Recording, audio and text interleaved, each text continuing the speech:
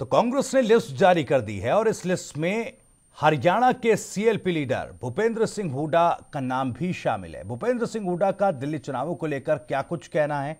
सुनिए। भी वहाँ स्टार प्रचार के रूप में उतारा जा रहा है। कांग्रेस की तरफ़ से भूपेंद्र सिंह हुड्डा को ज़िम्मेदारी दी गई है। हमारे साथ भूपेंद्र सिंह हुड्डा हैं। हुड्डा साहब, देखते हैं कि काफ़ी अहम हो गए हैं दिल्ली के चुनाव और जिस तरह से ज़िम्मेदारी आपको भी दी गई है स्टार प्रचारक के तौर पर तो अहम भूमिका रहने वाली देखो, सारे चुनाव अहम चुनाव होते हैं और दिल्ली का चुनाव भी अहम चुनाव है। और अब के वहाँ पे लगता है कि लोग बदलाव के मूड में हैं।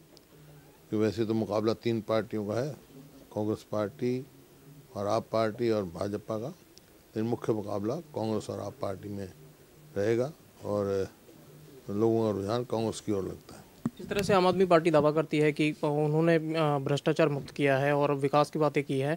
तो कहीं ना कहीं आप देखते हैं कि बाकी राज्यों में जिस तरह से हालाँकि चुनाव पार्टी लड़ी, उतना प्रोत्साहन उनको नहीं मिला तो कहीं ना कहीं दिल्ली में भी फ़र्क आया होगा। देखिए, विकास तो दिल्ली में कांग्रेस ने किया है। शीला दीक्षित की, शीला दीक्षित जी के समय में बहुत ज़बरदस्त विकास हुआ था। लोग अब तक भी याद कर रहे हैं।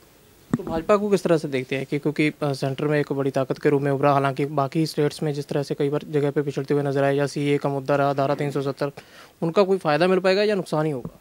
वहाँ झारखंड में क्या है किसको फ़ायदा मिला? लोग अपने हिसाब से करते हैं राष्ट्रीय मुद्दे और होते हैं और जो स्थानीय मुद्दे और होते हैं। छोटा सा कब से जा रहे हैं प्रचार के लिए और क्या रूपरेखा रहने वाली है या अभी कल जाऊँगा और परसों से जहाँ पे भी पार्टी कहेगी, हमारे विधायक साथी भी सब जगह जाएँगे।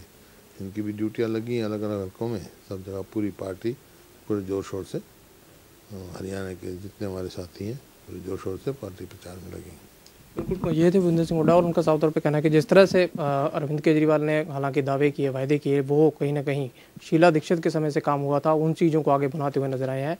कल से दिल्ली में जाकर के प्रचार की पूरी रूपरेखा संभालेंगे और आगे का जो पूरा विधायकों की ज़िम्मेदारी है, कल से लगनी तय होगी।